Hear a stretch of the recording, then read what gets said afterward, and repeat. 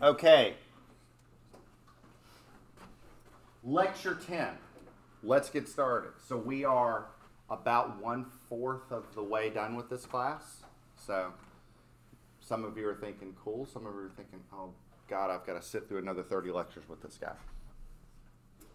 I know, I know, but okay. Um, my apologies on the last recording. I don't know what happened because um, I, I um, I'm using OBS to record um, uh, my lectures, and then I hit the stop record button uh, last time, and it it wouldn't stop, and I got this feeling like something's going to be wrong with the recording. And then when it I looked at the video, it was only half of it. So I, I don't know what happened, but I went ahead and uploaded it just so that we had it.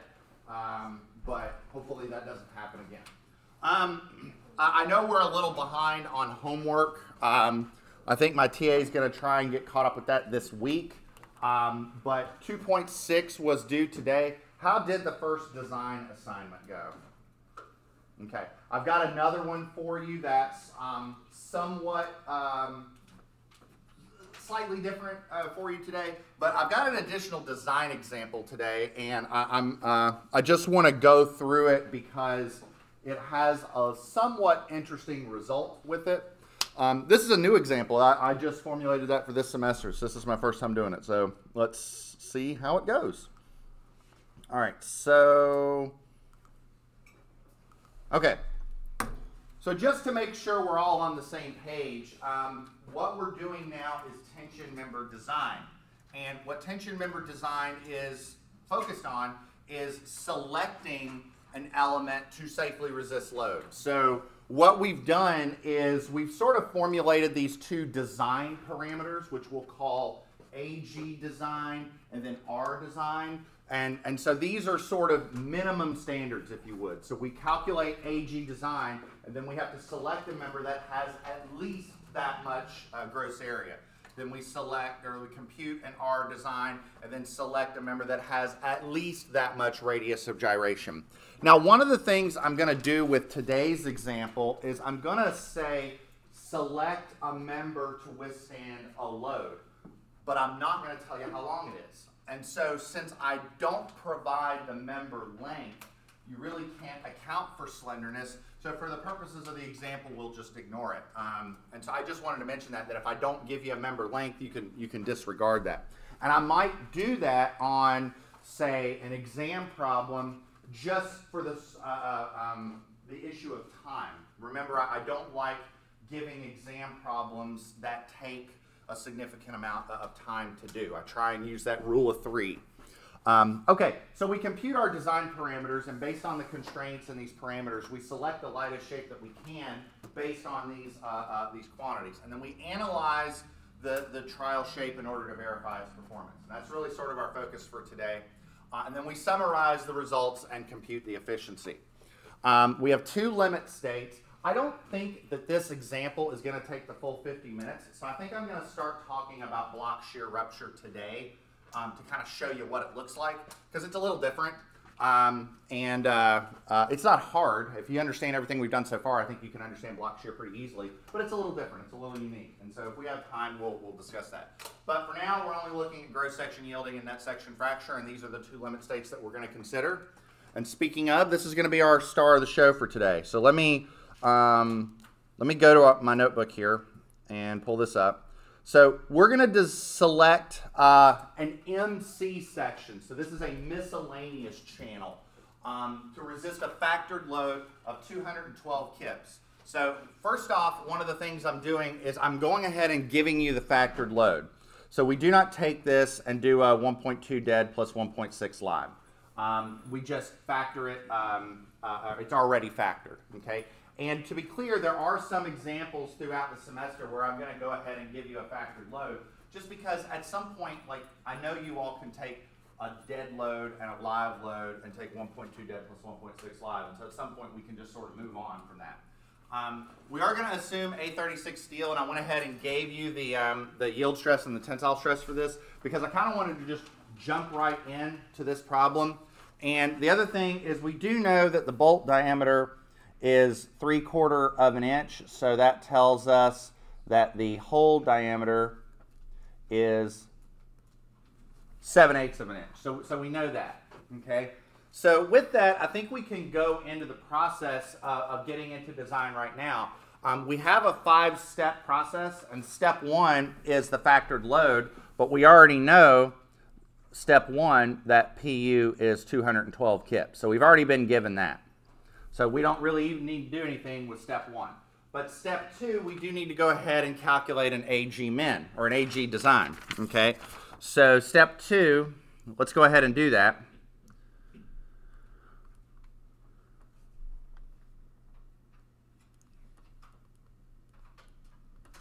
So AG design equals on the bottom.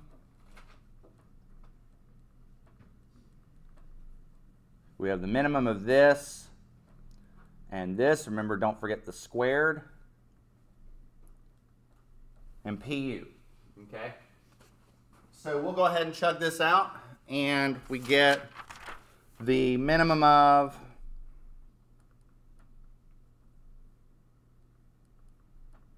this, and we were given FY and FU.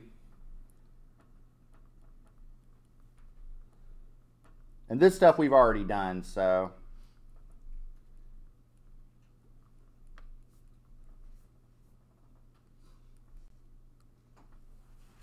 And then uh, this is 212 kips. Now, um, what I can tell you is and again, we we this denominator, we I mean, we've actually already done grade 36 steel or A36 steel in this class. So we know that this one will come out to 32.4 KSI. We did this last time. And this one will come out to 32.625 KSI. So, I mean, we've already done that. So we can just take 212 divided by this smaller one, and we get what? Now I'm going to call on you.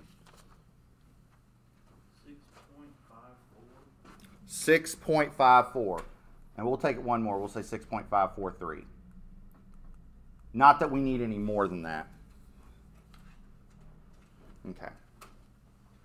Okay. Now, um, we don't have an R min. We don't have one. So all we have is a um, all we have is a, a, a, a, gross area to select from. So what we're going to do is we're going to open up the MC shape. So we're selecting an MC shape. So um, we're going to select the trial shape.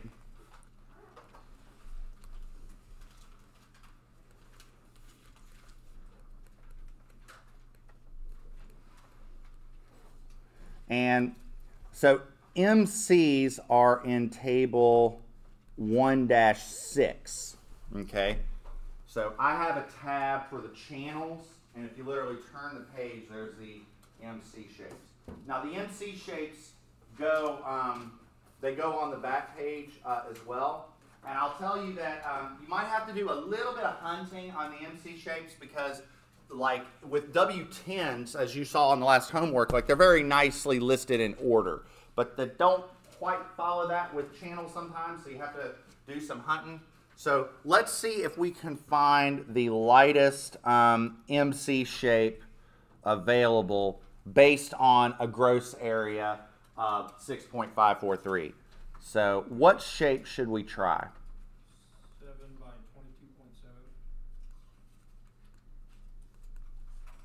22.7. Okay. Does everybody see that? And this is on the next page, so it's on 1-42. Okay. Now you are selecting that based on a gross area of 6.67. But if we're going to analyze this, we're going to need more quantities than just the gross area. So does anybody know what two quantities we're going to need in order to do this? Thickness of the web. The thickness of the web. We're definitely going to need that. What is the web thickness for an MC7 uh, by 22.7? 0.503. Anybody know what else we're going to need? No. This will help us with net area, but we need something else. X bar. We need X bar for the shear lag factor. So X bar for a um, MC is what? 1.04. Okay, so these are the properties that we're going to need in order to be able to analyze the tension member. Okay, everybody with me so far? Now, since I've got the schematic up here, I'm going to need to compute the net area and I'm going to need to compute the um, shear lag factor. So let's take the shear lag factor first. What is the connection length going to be for this? Six. Six inches, right? From outside of bolt to outside bolt. So from there to there. Okay? And the other thing I'll ask is when we calculate net area, we're going to take the gross area minus how many bolt holes? Two. Two. Okay. So that is that's what we need in order to be able to uh, uh, suss all this out. So let's go ahead and do this. So let's verify the capacity.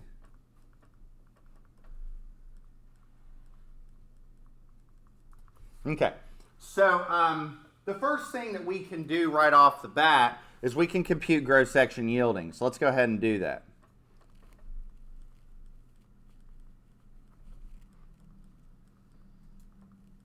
And again, this part should be pretty you should be pretty comfortable with this at this point because we've done this quite a few times. So how do we compute gross section yielding capacity? What's the formula? 0.9 Fy times what? Ag. So this is 0.9 times 36 KSI times the gross area. Now, remember when we're doing this, we're actually analyzing the trial shape. So we're going to use the 6.67. And so what do we get for this? Two hundred and sixteen. We'll say 0.1. And do I have a second on that? Let's make sure. Okay. So, all right, let's just take a step back. Tell me what this means. Like, before we move on, what does this mean? Like, when I see what, like, what reaction do you have when you see the number 216.1? Is it greater than two twelve? There you go. It's greater than 212, right? Because remember, our factored load is 212 kips. Okay, that's what we're designing for. Okay, so I'll ask again, um, if this is my load and this is my gross section yielding value, what does that mean? It's at it, we're good, right? This is good. This is a, this is safe. So this is okay. Okay, because we know that we meet we have enough capacity there. Okay. So now let's look at the net section fracture. Now we can't calculate net section fracture directly right now because we need some quantities. We need the net area and we need the shear lag factor. So the net area is going to be the gross area minus 2 times the uh, hole diameter, the effective hole diameter, times the web thickness, um, which is going to be 6.67 minus 2 times um, 7 eighths times 0.503. What do we get for this? Five point seven 5.79. Do I have a second on that? Yeah. Okay. All right. Now, what about the shear lag factor? What shear lag factor case are we going to use? This is a channel, remember. I see everybody finding their shear lag factor table. Is it first off? Is it case one or case two? Two. All right. So we know we're going to be using case two. Now the other question is, do any of the other cases apply? Cases three through eight? No, because we're either looking at channels, wide flanges, welded sections, we're tubes. We're, we're not looking at any of that. So we're just looking at U2, which is 1 minus that. So 1 minus 1.04 over 6, which is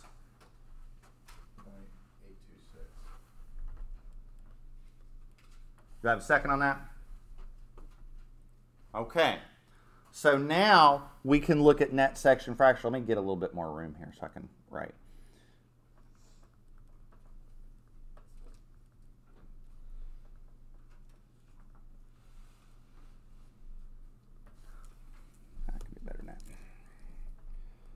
So net section fracture is going to be 0.75 FU AN times U, okay? So we take 0.75 times our 58 KSI times our net area, but we reduce our net area only to what's effective because of shear lag. And what do we get for this? 208 point Zero four. Okay. So I want somebody, first off, second on that? Okay. So I want somebody to make a comment on that. No bueno. Not good. Exactly right. This is no good. Okay. So, uh, okay. Let's elaborate on that though. What does that mean? Like, what, when you say no good, what are you talking about? Doesn't meet efficiency. Well, it doesn't mean efficiency, but but I mean, Can't withstand the load. It, it, but what can't withstand the load? The, uh, capacity. Net section. This, the MC seven by twenty-two point seven. That's that's what we're talking about. At the very beginning, I said we're going to try an MC seven by twenty-two point seven. So we tried it. We analyzed it and we found it doesn't work. Okay. So this is why step four is so important. Okay. Because remember, like, how did we get to the MC seven by twenty-two point seven? Like, let, let's think that through. How did we arrive at picking an MC7 by 22.7? Well, we picked it based off of this, right? We said, here's our gross area for design. We calculated this and we found the smallest shape that had an area bigger than that. But remember, baked into this is one heck of an assumption, right? We assume that the effective net area is 75% of the gross area. Like, that's just a guess, you know? We don't know if that's right or not. That's why we do step four to verify which section works or verify that the chosen uh, trial shape that we picked works. And I propose that this section doesn't work. So my question to you is, what do we do? Pick a new section. Pick a new section. Okay, so let's go to that. Okay. So we'll call this step four again.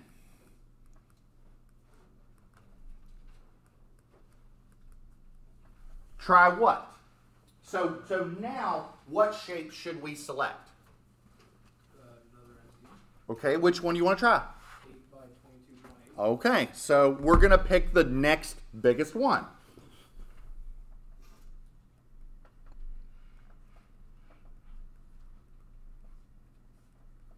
Let's try an MC8 by 22.8. Okay, so it has a gross area of Five point eight 5.87. seven. No, I'm looking at six point seven. You're looking at the 20. Yeah, I got a little. No, it, it's okay. It's okay. This this manual is the first one that has that alternate shading of the rows. So the last manual was even harder. Was, I, I used to tell have just like a little bookmark or a note card or a postcard just just for that. So yeah, that's nothing wrong with that. Okay, six point seven zero. All right. What about the web thickness? Zero point four two seven. And now X bar is One point zero one. Okay. So now what we're going to do is we're going to do that all over again. Okay. Um, and unfortunately, this is sort of the nature of design is that sometimes there's a bit of repetition.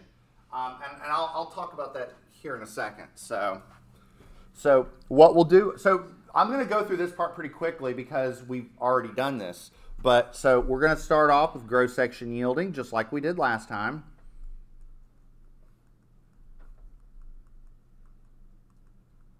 Which is 0.9 FYAG, which is 0.9 times 36 KSI times 6.70. So we're using a new area now. And when we chug this out, we get 217.1 kips. So what does that mean? That's good. Because our star of the show for this example is 212. That's the load we have to withstand. So gross section yielding, we're good there. Okay, what about net area? Okay, so net area, we compute it the same way. Gross area minus 2, that times that. Okay, so 6.70 minus 2 times 7 eighths times now 0.427. So interesting, we have a thinner web, and so what that means is we're removing less material from the gross section to get to the net section. So we get 5.953. I don't know if anybody's catching up with me on that. See, did you get the same thing? Okay, good. So U, oh, so now U equals U2, 1 minus x bar over L. Here, I, I shorthanded that. Let's, let's do it for real. So, so this is 0.832. And then we have net section fracture as follows.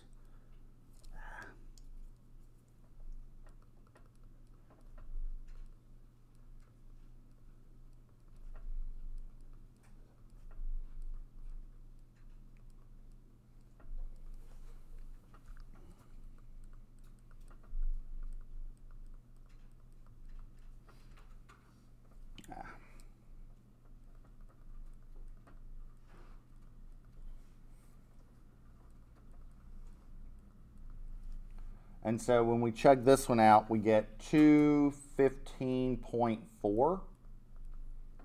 Anybody seconding me on that? Okay. So now what do we get? Is this good or bad?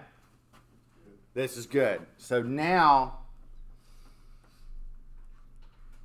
we can say use an MC 8 by 22.8. And what I'll go ahead and say is that its efficiency, when you calculate it, is 98.4%. And so how did I compute that? That's just 212 divided by the smaller of those two.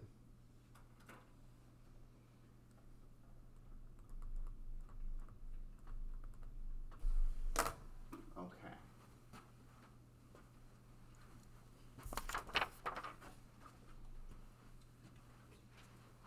So my apologies for doing yet another channel example because I know we did one last time, but I kind of wanted to do one where it failed during the first iteration. And yes, I mean structural engineering, like one, and really just any engineering uh, uh, design problem in general does require a bit of iteration. It's sort of the nature of the beast.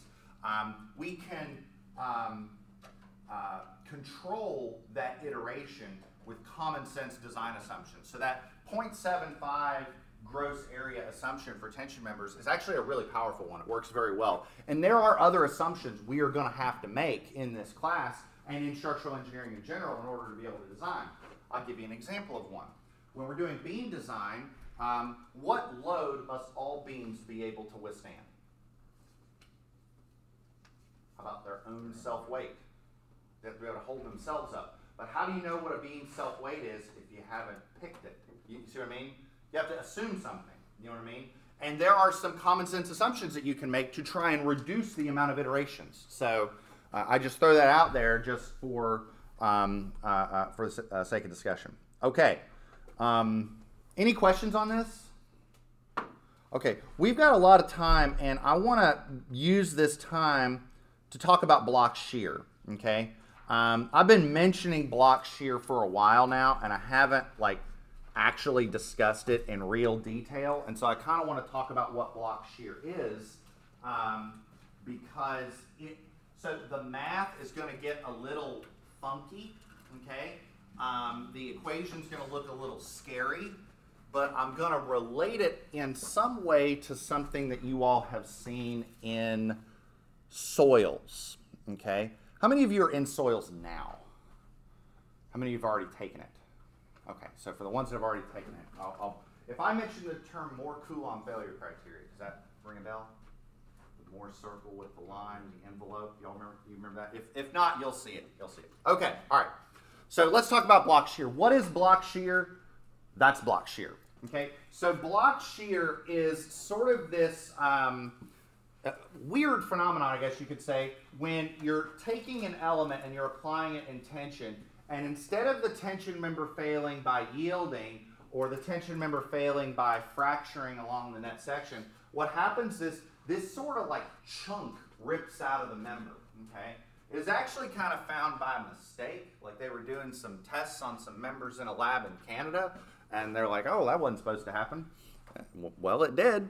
um, so let's start looking at it. So this is what block shear looks like. And the reason that we call it block shear is because it is a combination of a failure in tension and in shear where this chunk or this block rips out of the member. Okay.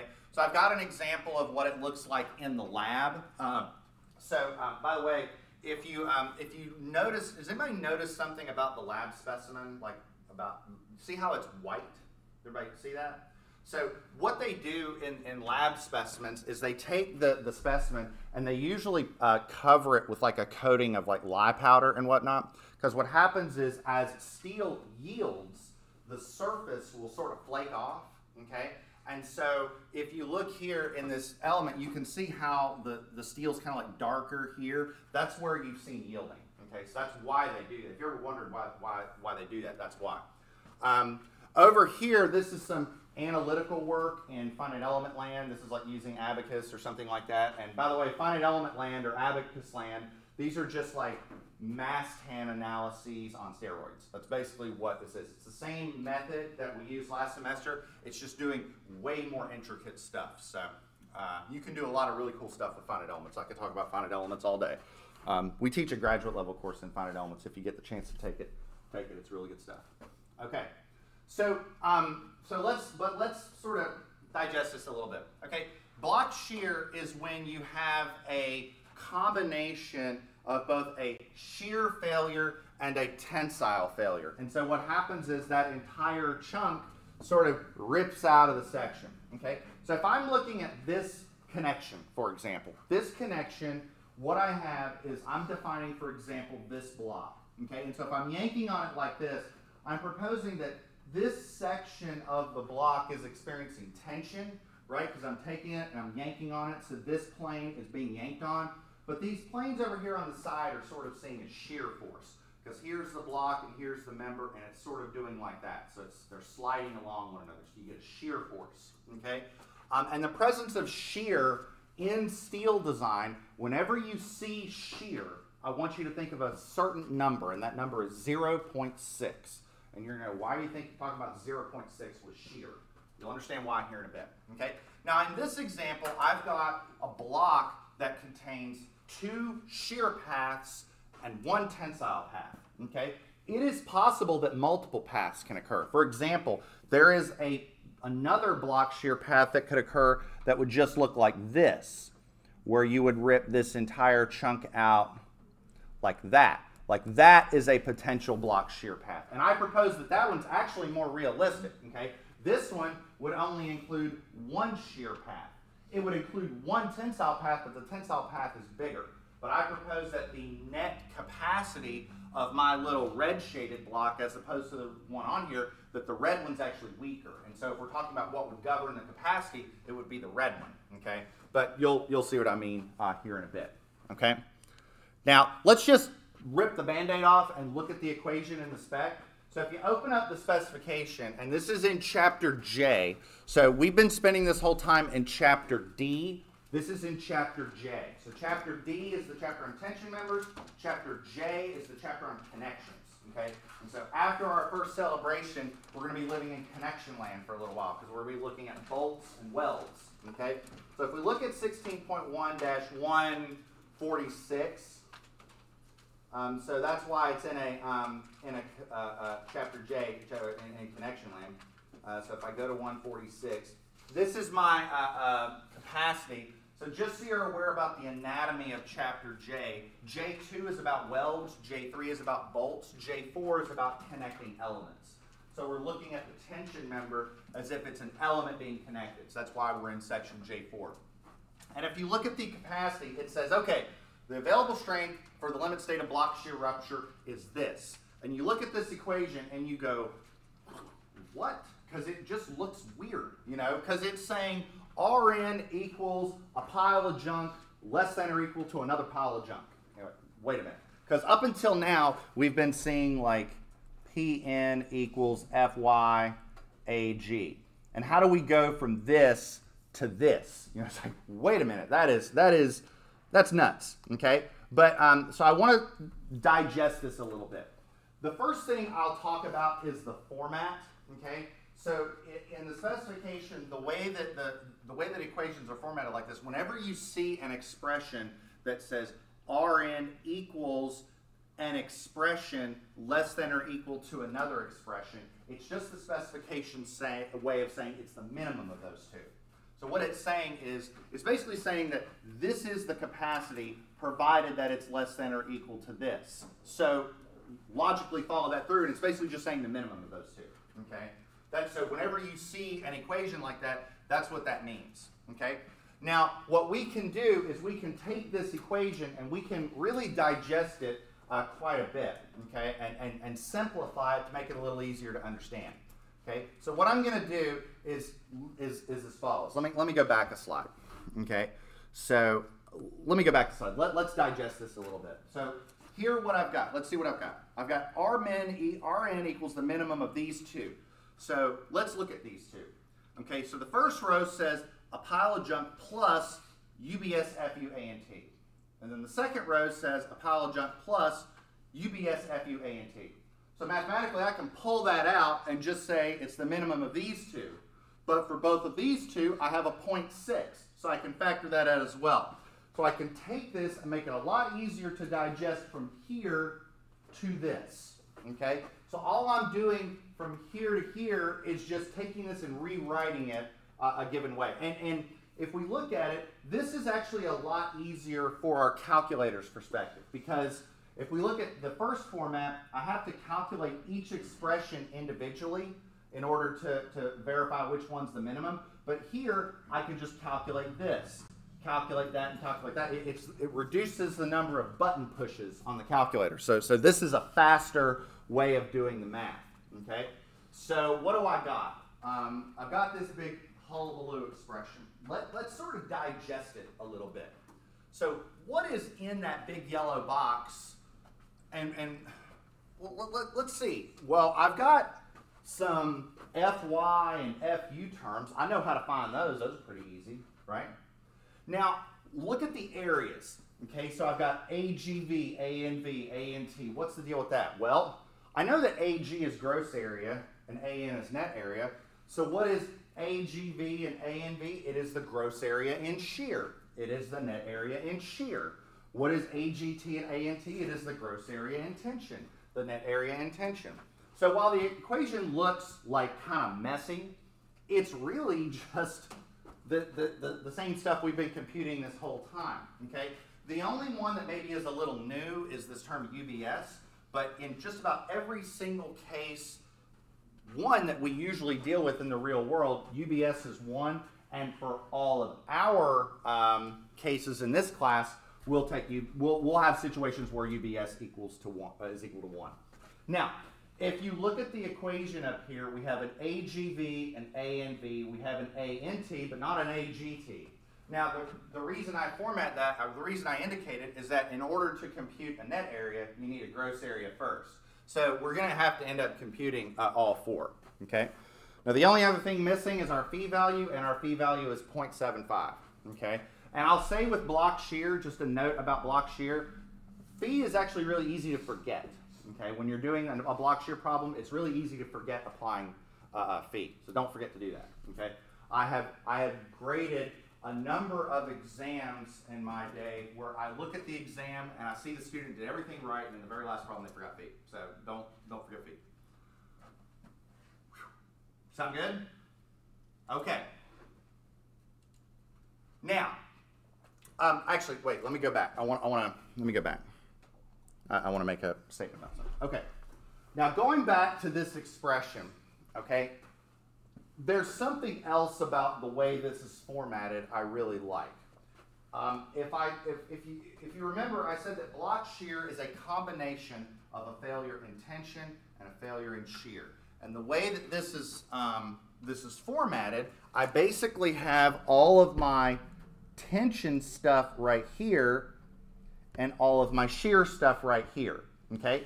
But notice what's common with all the shear stuff. What's common with all the shear terms is this 0.6, okay?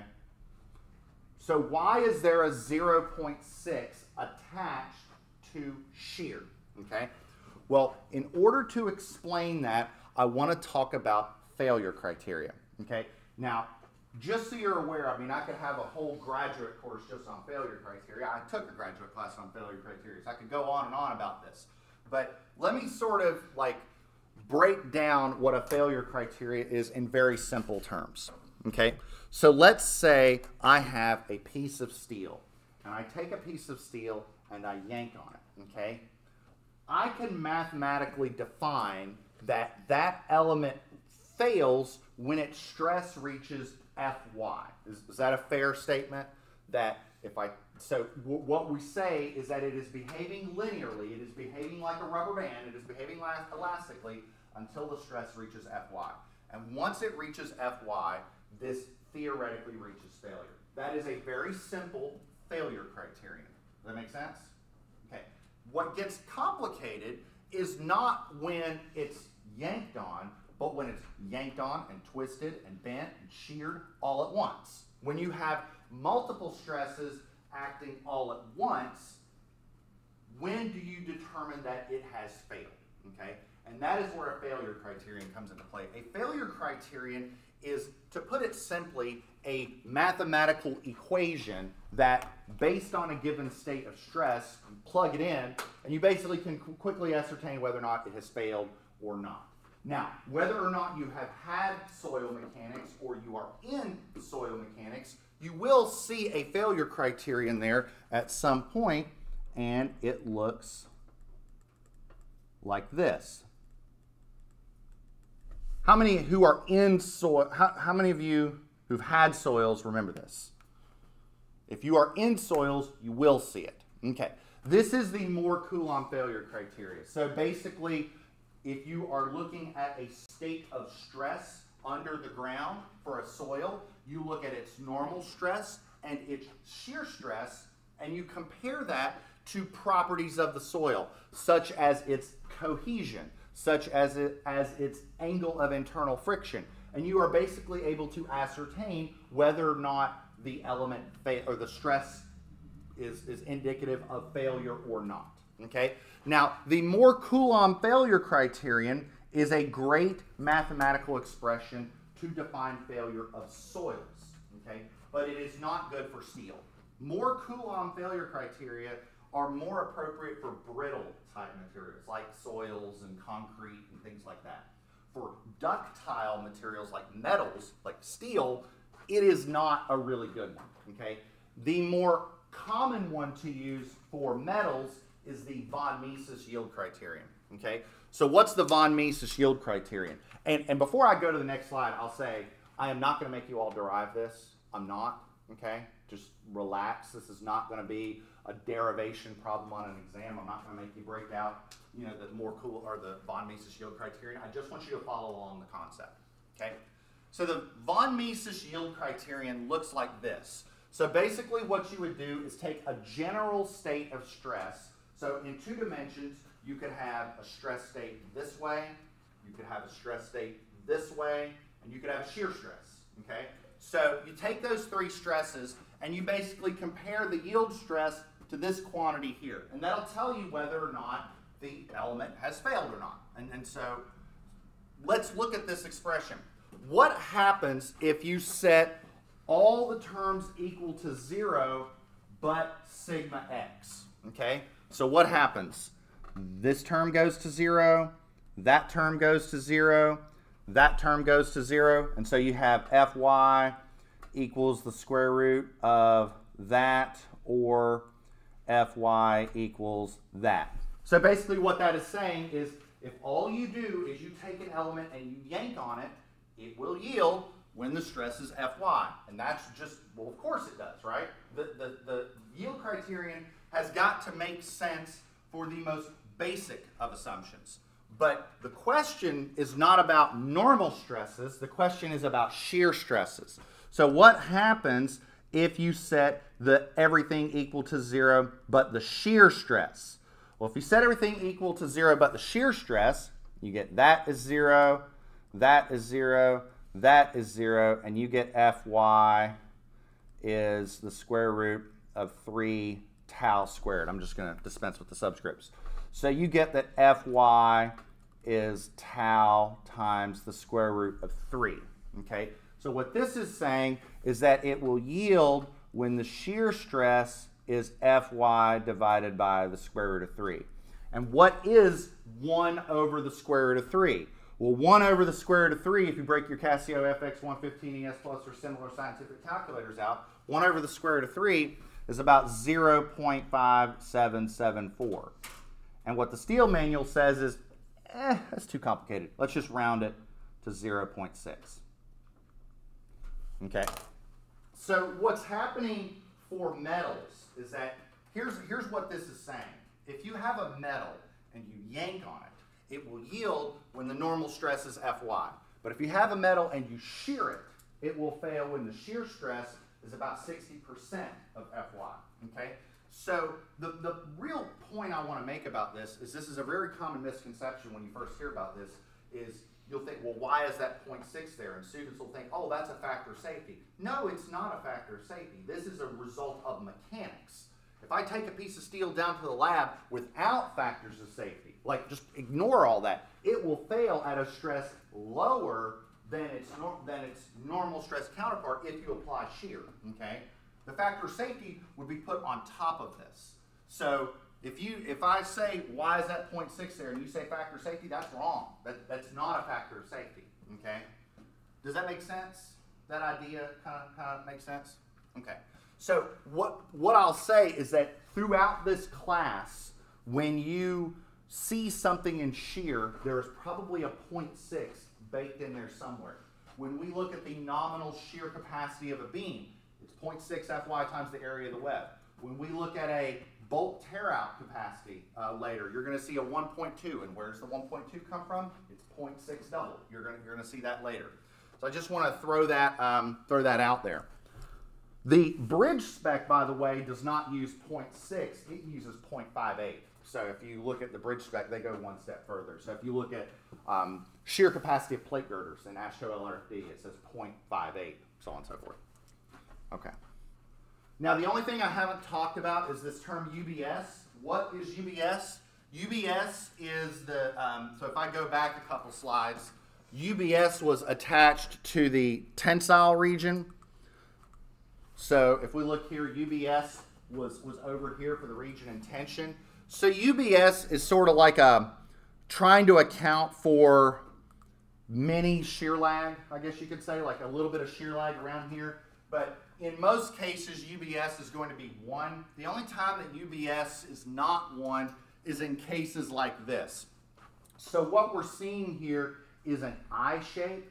And what we've done right here, this I shape right here, this is called coping. So this is a coped web. Okay, and, and the reason for coping a web is if you're trying to um, erect a building, okay, and you're trying to connect the floor system together. So if we look at the new innovation building, the new business building, okay, if you look at that frame, you're going to have beams going this way, and you're to have beams going this way, right? And they have to connect together. But you want to connect them in such a way that the floor is flat, right? I mean, you don't want, like, I mean, how do you connect an I-beam to another I-beam while keeping this a flat surface to be able to place a floor?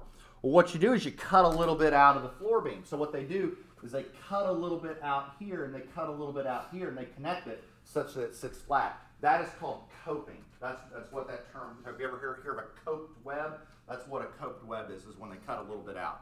And for a coped web, the, um, if you ever have multiple rows of bolts, you take UBS to be a half. Other than that, every other case, UBS is one. And we're not going to deal with any uh, of these types of connections in this class this semester. So I, I just wanted to throw that out there that that's the only case where um, uh, where where uh, UBS is not one. So does that make sense? All right, any questions? All right. So um, the only other thing I'll mention about block shear, and then we're actually probably running out of time. Yeah, we're getting close. So is that um, when we identify block shear paths, and this will be a, a really sort of a main discussion point for our class tomorrow, is that the possible block failure, uh, the possible block shear failure paths need the following. They need to leave all of the bolts intact. They need to separate the member from the connection, and they need to include a path that's subjected to shear. So, like for example, if